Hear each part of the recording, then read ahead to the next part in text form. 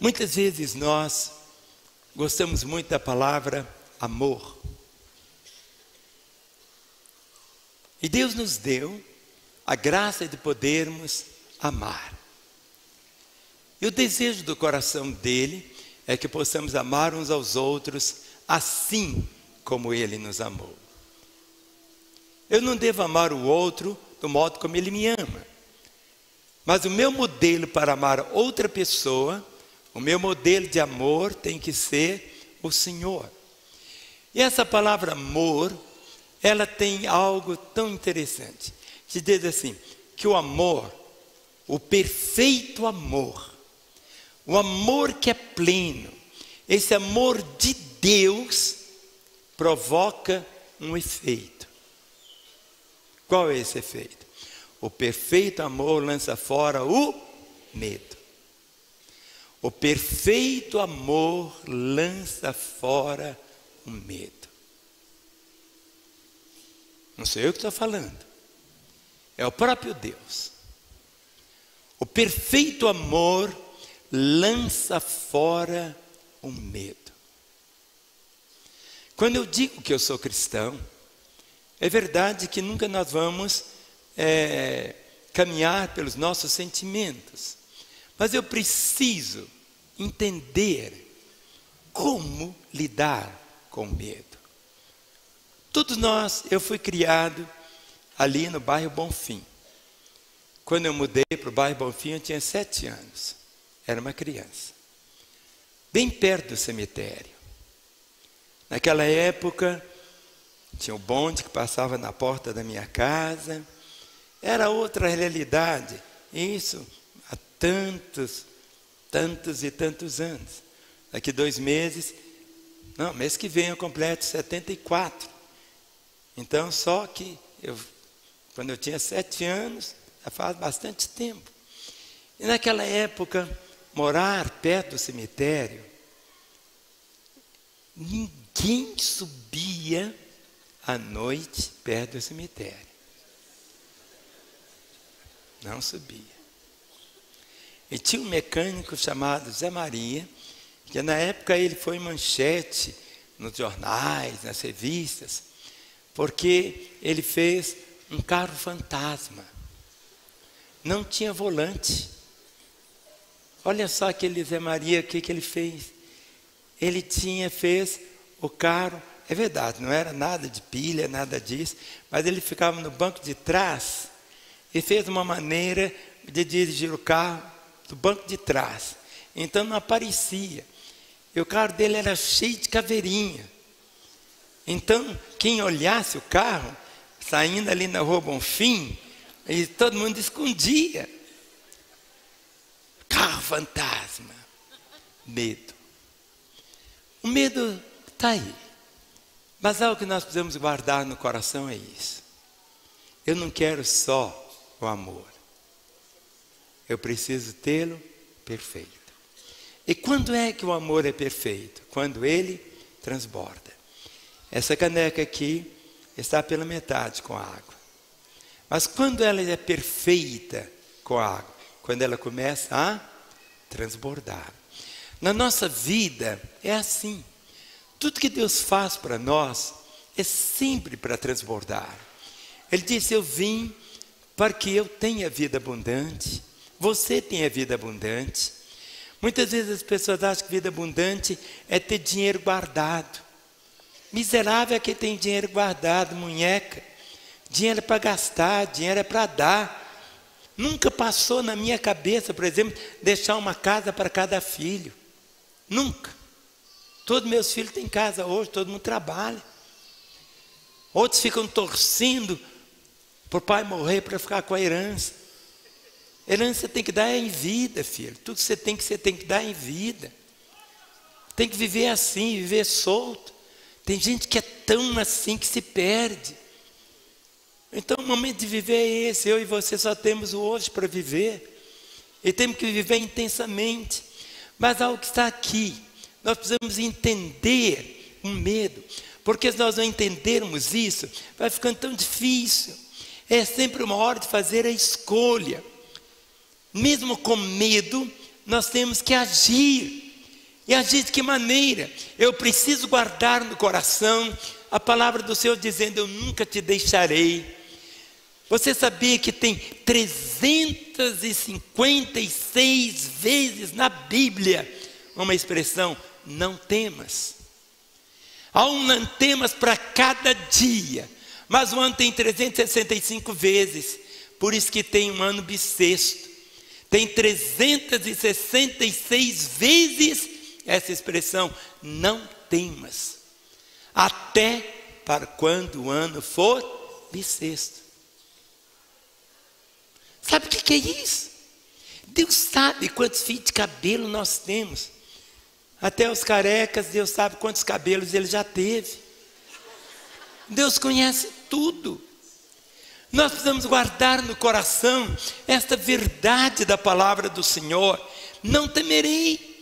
Mas quando você fica é cheio de picuinha, cheio de coisa, pensamentos, palavras de medo, assim, eu sinto medo, eu sinto medo. Você não é mais um bebezinho, uma criancinha. Esses dias ficou lá em casa, a Índia, a filhinha do André, três aninhos, né? Três aninhos. Gente, a gente põe ela lá no quarto escuro, ela dorme, dorme. Ela é, ela me pede para ir dormir. Ela não queria, estou com medo, estou com medo. Muitas vezes os pais fazem medo. Sabe? Tem gente que é tão esquisita, isso e aquilo. Sabe, você oferece, aí a modo como a pessoa vai crescendo. Sabe porque tem gente que tem tantos pensamentos, só palavras de medo. Eu sinto medo, eu estou com medo. Mas há um antídoto para o medo. Sabe como? Vivendo em ousadia, vivendo segundo a palavra do Senhor. Eu tenho que confrontar o medo. É uma guerra. E nós temos que confrontar de que forma? Dê um passo de cada vez. Você vai ficar com medo, medo de morrer, medo de ser demitido, medo de ficar com câncer, medo de perder isso, medo da sua mulher te trair, medo disso, medo daquilo, medo daquilo outro. E quando você vai alimentando isso, você vai ficando o quê?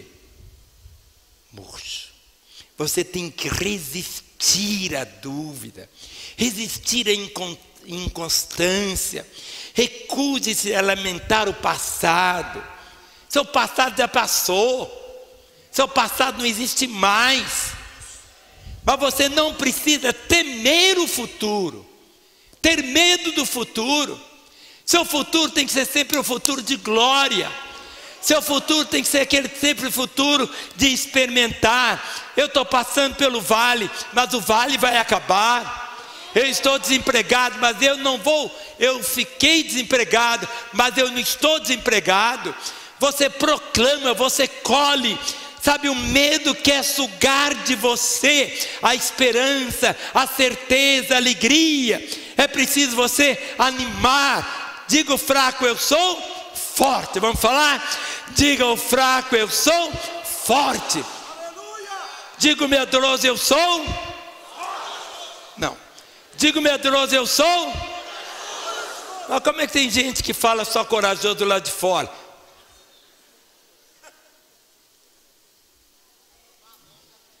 Digo fraco. Eu sou fraquinho, fraquinho. Não. Eu sou forte. Ah, mas isso aí, sabe, tudo que Deus criou foi resultado de quê? Da palavra dele. Ele disse: haja luz e houve luz. Tudo que ele dizia. Tudo que Jesus falou, só falou palavras de coragem, quando os discípulos estavam lá no barco, era noite, Jesus foi ao encontro deles. Aí quando Jesus foi aproximando, ah! É um fantasma! Aí Jesus gritou assim: Sou eu. Sou eu. Sabe, o medo não resolve nada.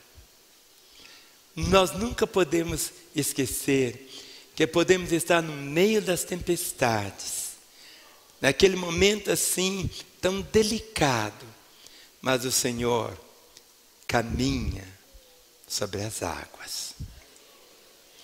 Quando tudo está tão difícil, aparentemente tão escuro, muitas vezes você abre a Bíblia e naquela hora brota uma palavra rima, uma palavra direta do coração de Deus ao seu coração.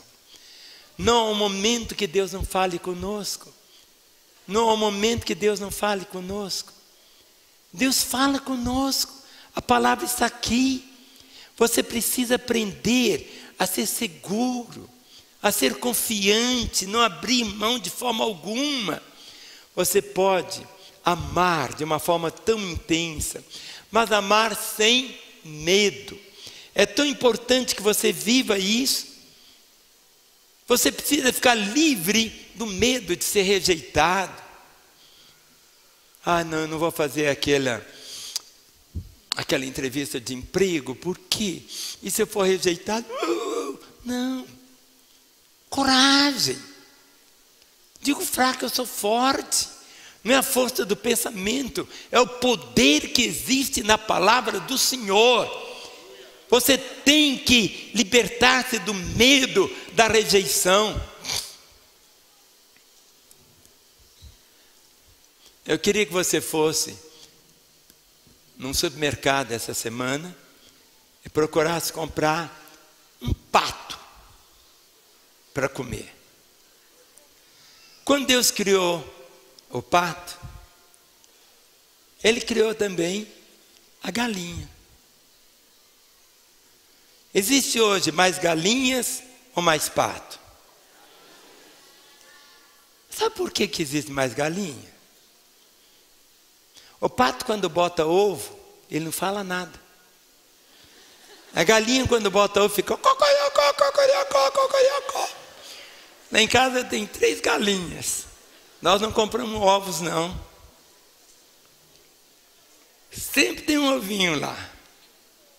A Renata que cuida das galinhas. Três galinhas.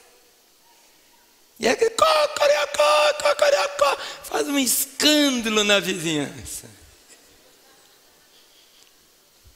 Você não é pato, querido. Você tem que falar. Aquela mulher que Jesus curou, desconte para os outros. Pode falar, pode falar para todo mundo. Você sai do culto,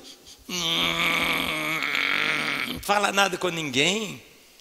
Lá no seu GC, você tem que falar: olha, eu fui na igreja, foi tão bom, e aconteceu isso, eu recebi a graça. Você, você tem que cacarejar é algo diferente. Você tem que ter essa compreensão tão forte, você foi aceito por Ele, você tem que trocar o medo por temor a Deus. O temor de Deus é a expressão do seu amor. E como a Bíblia diz que ele lança fora o medo. Sabe, você tem que ficar livre, sabe? Daqueles tipos errados de medo.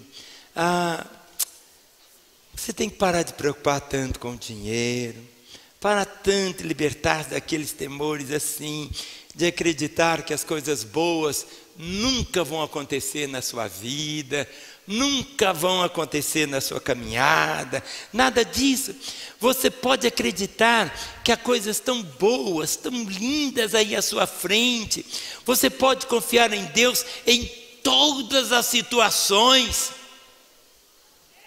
Você tem que se libertar de ficar se alimentando de que coisas erradas vão acontecer na sua vida. Você tem que relaxar, meu irmão. Você tem que ficar suave, relaxar. Liberte-se do medo de não fazer o bastante. Muitas vezes você quer ser tão perfeccionista e nunca vai chegar. Aí é uma complicação. Liberte-se do medo de confiar em Deus e ao mesmo tempo nos outros.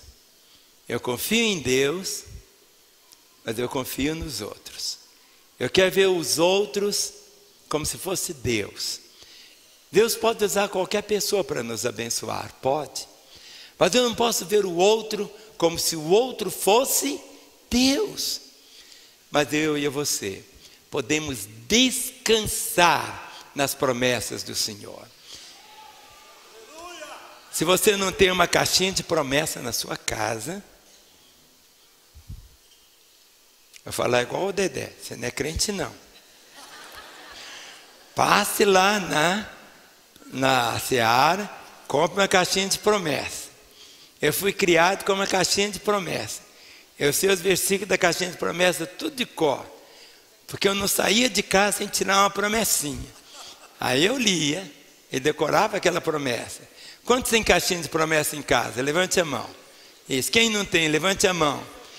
Então você tem que fazer uma promessa. Passa lá e leva uma caixinha de promessa.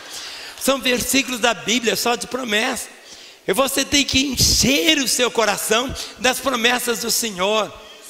Encher. A palavra do Senhor é cheia das promessas do Senhor. E outra coisa, liberte do medo da morte. Tem gente que está contando os dias para eu morrer. Fala que eu não estou doente, eu estou. Mas já estão querendo me enterrar, gente. Tem gente que está fazendo reunião para saber quem vai ser meu sucessor, eu nem morrei. É mesmo.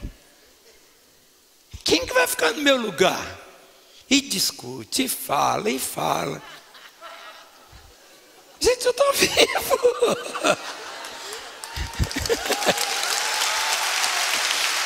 Eu não preocupo com isso. Compreende? A vida é assim.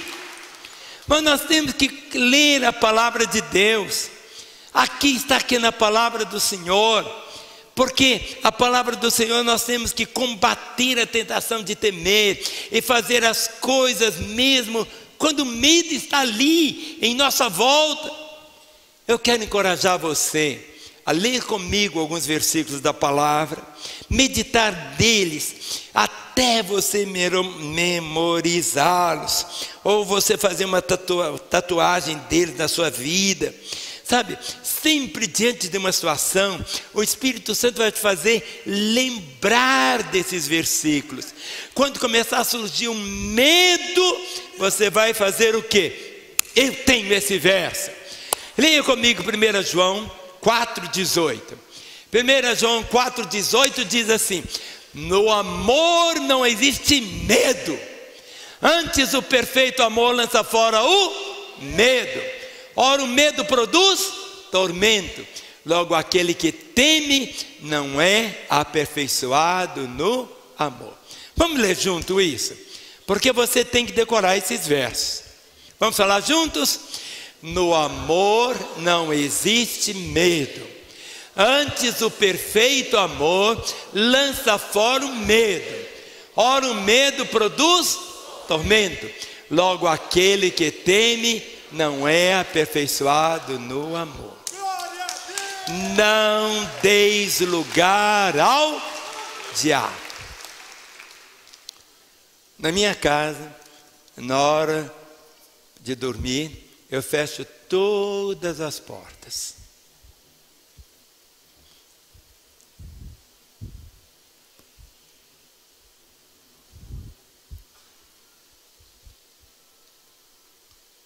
Você tem que fazer a sua parte.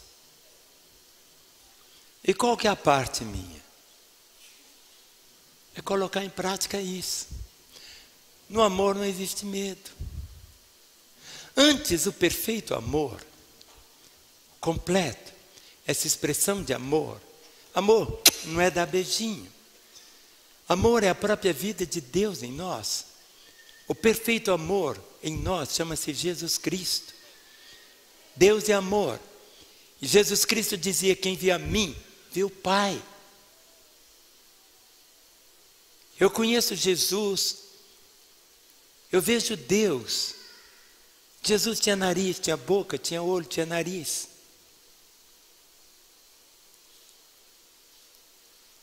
Nós vemos Deus no Senhor.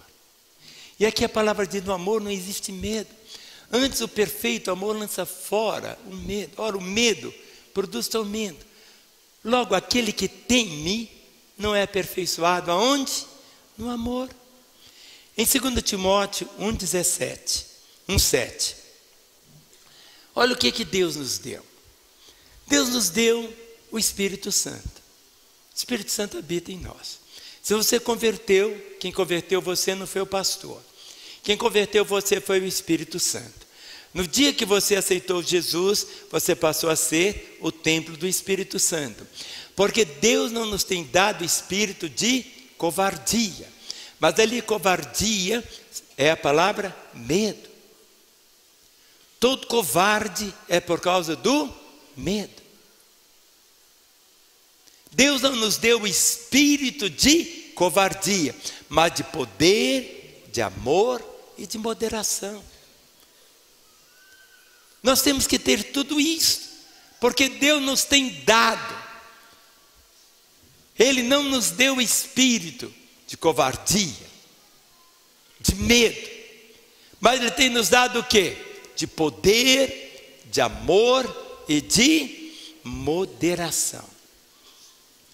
Quando o povo de Israel saiu do Egito, teve um líder, Moisés. E Moisés foi aquele homem, você conhece toda a história dele. Mas todo homem um dia vai morrer. Ele precisava de um sucessor. E Deus levantou um homem chamado Josué. Josué. Mas agora Moisés foi usado por Deus para tirar o povo do Egito. Mas agora tinha que introduzir o povo à terra. Mas quando você vê Josué em relação a Moisés, Moisés, Moisés era Moisés, Josué era Josué. Mas Deus passou o cajado para ele.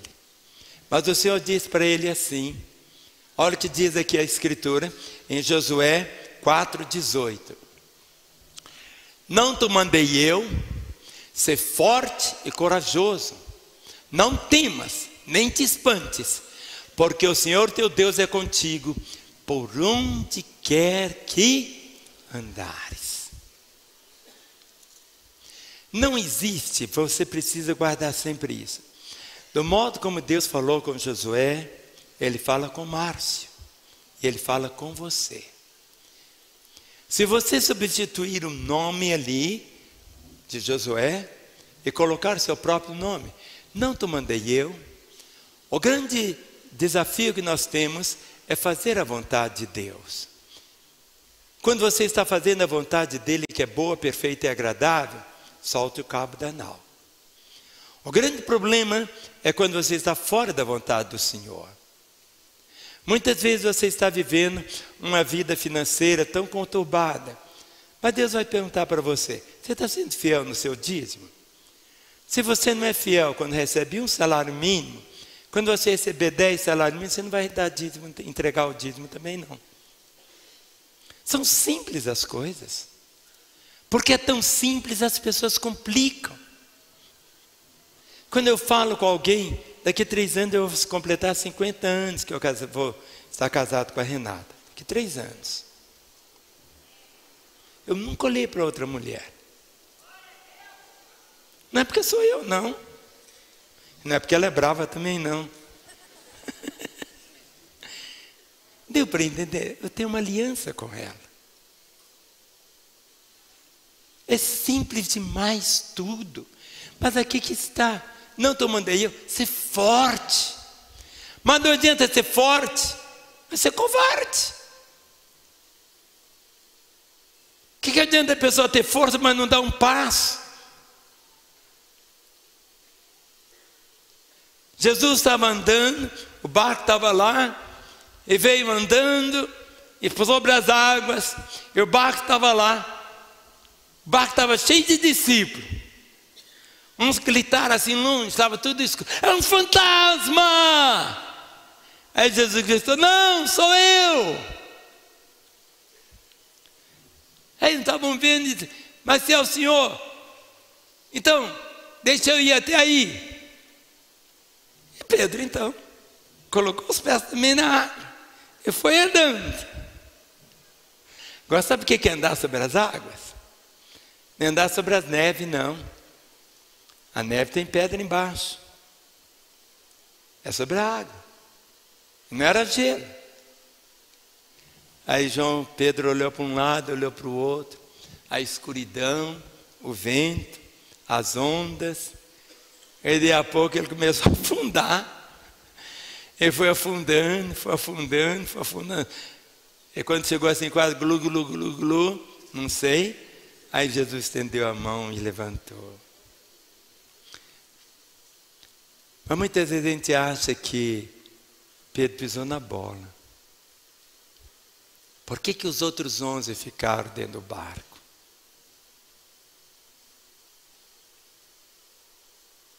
Um teve coragem de ir. Nós queremos sempre uma coisa, segurança. Sua segurança não é o seu seguro de vida, querido. Sua segurança é Deus. Sua segurança é Ele. Sua segurança é Ele.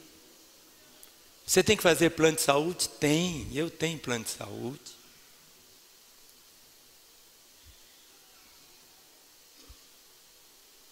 Você tem que ter algo. Mas você não pode depender só disso. É seu relacionamento com Ele. É manter. Não te mandei eu ser forte, corajoso. Não tema, nem te espante, porque o Senhor teu Deus é contigo por onde quer que andares. Isaías 41, versículo 10. Isaías 41, o versículo 10. Olha o que diz Isaías 41, 10. Não temas, porque eu sou contigo. Não te assombres, porque eu sou o teu Deus, eu te fortaleço, te ajudo e te sustento com a minha destra fiel. Isaías 43, o verso primeiro. Olha o Senhor repetindo. Deus repete, repete, repete. Deus sempre repete. E quando Ele vai parar de repetir? Quando nós colocarmos em prática aquilo que nós já sabemos. Diz aqui em Isaías 43, 1: Mas agora assim diz o Senhor, que te criou, ó Jacó, que te formou, Israel não temas, porque eu te remi, chamei-te pelo teu nome, tu és meu. Aparentemente você vê os versículos repetidos na Bíblia. Você diz, mas eu já li esse versículo. Outro profeta já falou. Mas a gente aprende pela repetição. E é a repetição que nos faz guardar essa palavra. Mas agora, quando é agora? Agora é agora. Fala teu irmão, meu irmão, agora. Mas agora, então, para melhorar, fala assim: a minha hora chegou. Fale para ele. Quando é que é a minha hora? É agora. Mas agora diz o Senhor que te criou Jacó, que te formou Israel, não temas, porque eu te remi, chamei-te pelo teu nome, e tu és meu. Romanos capítulo 8, verso 38 e 39. Os músicos vão começar a se preparar agora. Nós vamos ler esses vers esse verso. E aí eu queria que você lesse esse verso comigo, que você deixasse entrar no seu coração. Talvez é o que você esteja vivendo, o momento que você está experimentando. E diz assim: vamos falar juntos, Romanos 8, 39, 38 e 39. Paulo começa dizendo assim: olha como que ele diz assim: porque eu estou o quê? Porque eu estou bem certo de que, vamos falar? Nem a morte, nem a vida, nem os anjos, nem os principados, nem as coisas do presente, nem a altura, nem a profundidade, nem qualquer outra criatura poderá separar-nos do amor de Deus que está em Cristo Jesus.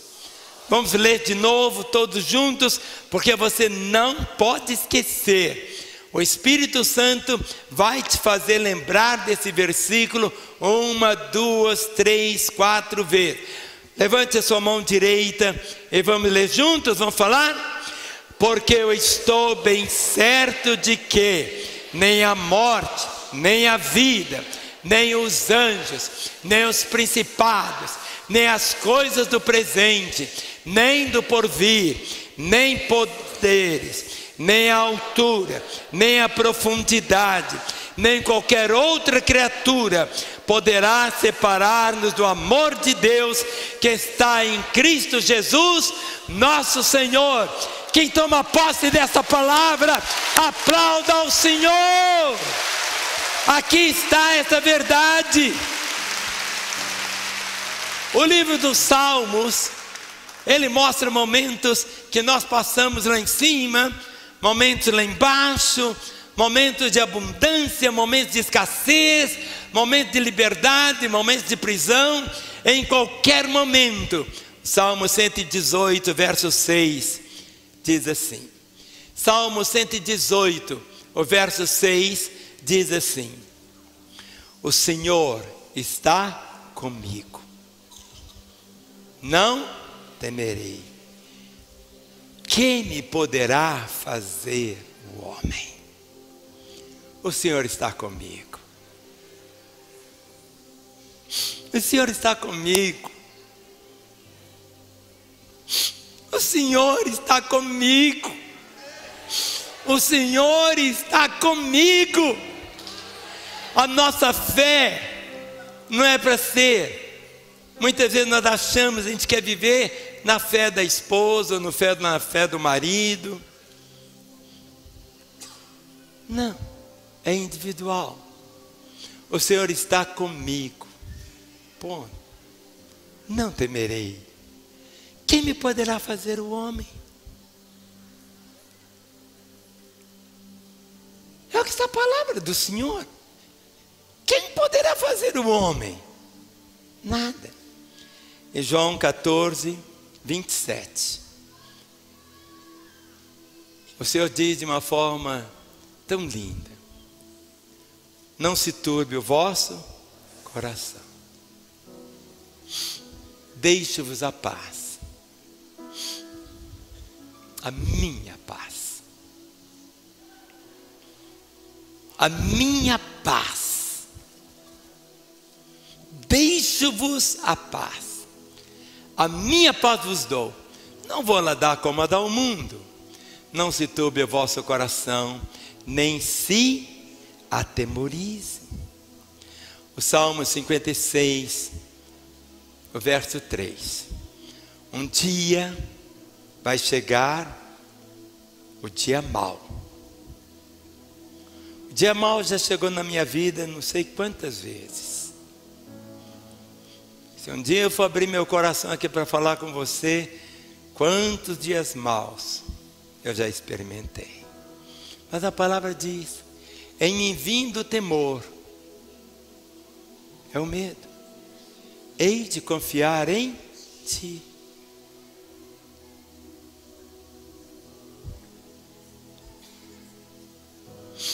Em me vindo temor, hei de confiar em ti. Isso traz o que? Esse alento. Em Deuteronômio 31, verso 8. Deuteronômio 31, verso 8. Durante toda aquela caminhada no deserto, era um passo de fé. Não tinha supermercado naquela época. Não tinha galão de água, nada disso. Olha o que o Senhor diz: O Senhor é que vai adiante de ti, Ele será contigo, não te deixará, nem te desamparará. Não temas.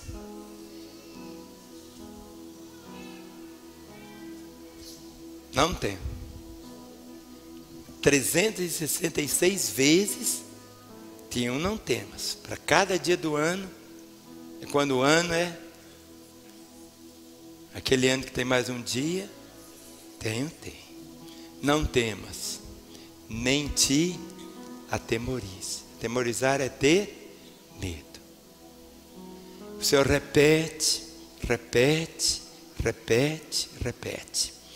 Isaías 26, verso 3. Aquele que vive assim, tão cheio de ansiedade, é, de confusão por dentro.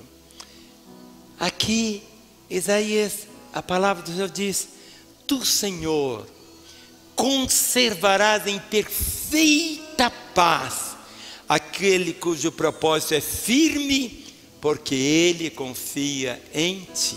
Vamos falar juntos?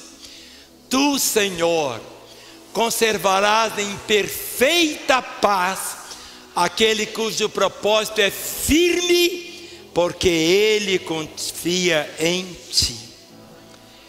1 Pedro 5,7. Todos sabem de cor. Que diz assim: para lançarmos sobre ele o que? Lançando sobre ele toda a vossa ansiedade, porque ele tem cuidado de vós. O Salmo 27, o verso 1. Salmo 27, verso 1 diz assim: O Senhor é a minha luz e a minha salvação. De quem terei medo? O Senhor é a fortaleza da minha vida. A quem temerei? O Salmo 23. Todos nós sabemos Salmo 23, verso 4. Ainda que eu ande pelo vale da sombra da morte, não temerei mal algum, porque tu estás comigo.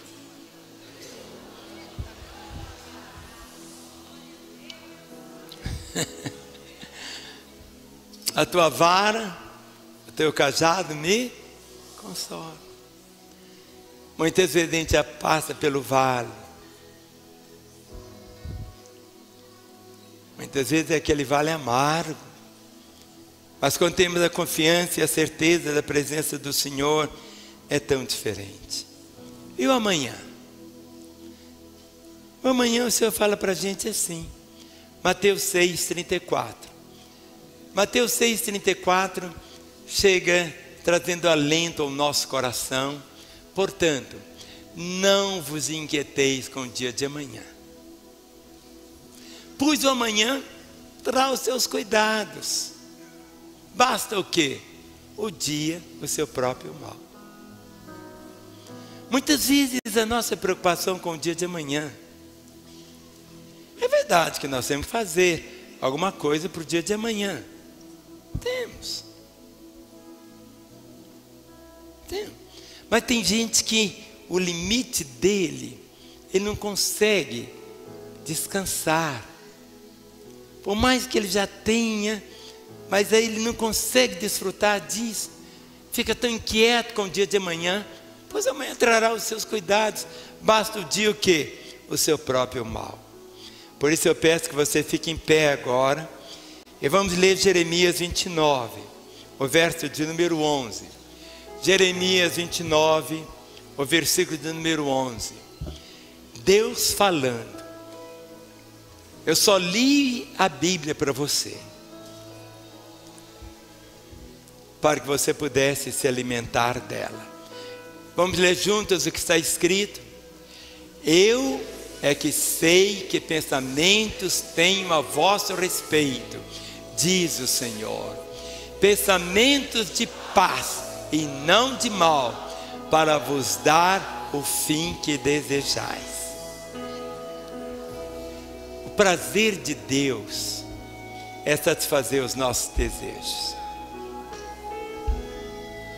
Quando meus nestinhos estão lá em casa, o prazer do vovô é só satisfazer os desejos dos netinhos.